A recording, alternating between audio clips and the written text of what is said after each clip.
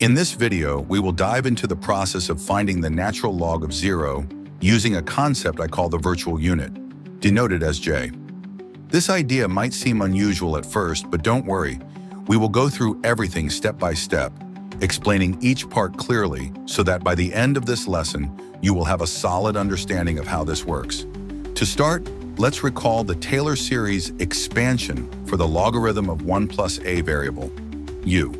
The Taylor series for the log of 1 plus u is an infinite series that starts like this.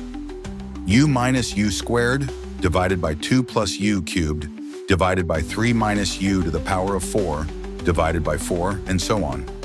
Each term alternates between positive and negative as the powers of u increase. This series is a well-known mathematical tool that helps us approximate the logarithm of numbers. Now, to make things more interesting, we will replace u with a raised to the power of j, where j is our special virtual unit. The beauty of j lies in its unique properties, which we will explore.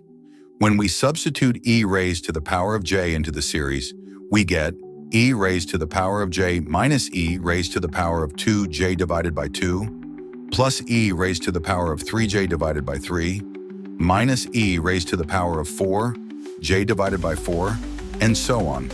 This looks just like the original series, but with e raised to the power of j in place of u.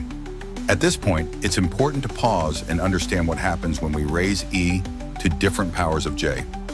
The key here is the behavior of e raised to the power of j when it is raised to even and odd powers. When we square e raised to the power of j, we get e raised to the power of 2j, which simplifies to 1. This happens because of the special rule for the virtual unit j. When j is multiplied by an even number, the result is 0, and thus e raised to the power of 2j equals 1.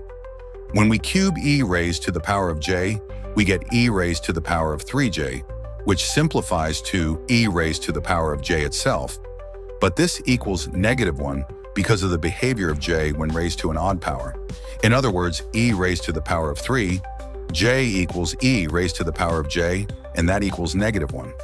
Now that we have this simplification, let's substitute these values back into the original series. We find that the logarithm of 1 plus e raised to the power of j equals e raised to the power of j minus 1 divided by 2, plus e raised to the power of j divided by 3, minus 1 divided by 4, and so on. We can make this even more manageable by factoring out e raised to the power of j from the entire expression. This gives us e raised to the power of j times the sum of fractions. 1 plus 1 divided by 2 plus 1 divided by 3 plus 1 divided by 4, and so on. This series of fractions is actually a well-known mathematical sum called the Riemann zeta function at 1, commonly written as zeta of 1. So we can rewrite the expression for the logarithm of 1 plus e raised to the power of j as e raised to the power of j times zeta of 1. Now let's move on to the next interesting step, finding the natural log of 0.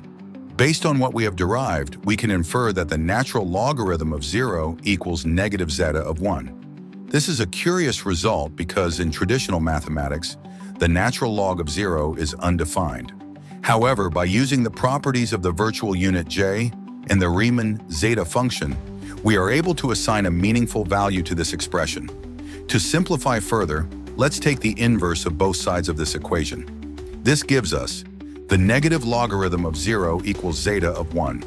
If we rewrite this a little differently, we get the logarithm of 1 divided by 0 equals zeta of 1. This equation is starting to look a bit unusual, but it makes perfect sense within the context of our virtual unit j.